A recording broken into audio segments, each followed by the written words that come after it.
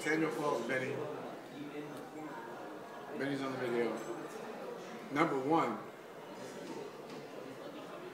I don't get off the phone. You don't get off the phone? No, because if I'm showing you the video over the phone and I hang up the phone and you watch it and something happens, somebody comes in, the phone rings, you're going to answer it. You're going to allow yourself to be interrupted because I've broken the connection. If I'm on the phone with you and somebody comes in, you're like, "Oh, right? You're still watching the video. And I'm letting you know it's important. That's number one. Number two, if you hang up and they watch the video and you call them back and they don't pick up the phone, now what? Now you gotta start chasing. Did you watch it? What happened? I called you back. There was no answer. Sometimes that happens. So if you don't break the connection, you have to deal with all that. That's number one. Number two, Benny just finishes watching the video. I've already booked Shirley's time for the appointment. So she's clear and she's available. When I hear the video, I know when the video ends. I know the timing on it. I've, I've uh, called Shirley, and I've already patched her in. So based on what you told me, here's what I'd say. Hey, listen, Benny, man, it's crazy, right? The video just finishes, and he says whatever. It's cool or it sucks, whatever. It doesn't matter what he says. Listen, Benny, I'm brand new at this thing.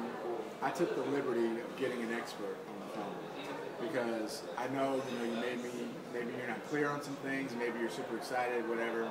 But I wanted you to meet her because she is really, really successful, and she doesn't have a whole lot of time. But she agreed to spend a couple of seconds on the phone with you. So I'm really honored to have her on the phone because she's really, really, really busy. Um, right? And and Shirley, this is my friend Benny. You know, I met him the other day. He's got a good head on his shoulders. Benny, Shirley, Shirley, Benny. So you set up the introduction that way. He's going to be happy to talk to her. He's going to be honored that he's on the phone with someone successful. When's the last time you've been on the phone with anybody successful? Who knows, right? This is where our prospects. Shirley, all she's going to do is collect a decision. You like it? You ready to get started? No? Okay. You don't want to get started? Oh, no. You want to think about it? What do you want to think about? Blah, blah, blah, blah, blah.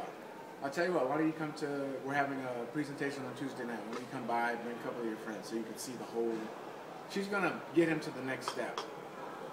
Whatever that is. The next step is going to be either signing up right now and then registering for the next regional, or if he's if he's not ready to pull the trigger, get him to the next event. And if he's a definite no, she's going to get a couple of referrals. But he's not going to feel any kind of way about it. He's not going to be offended or feel like, oh, you know. It's all it's all in how you set it up. Okay.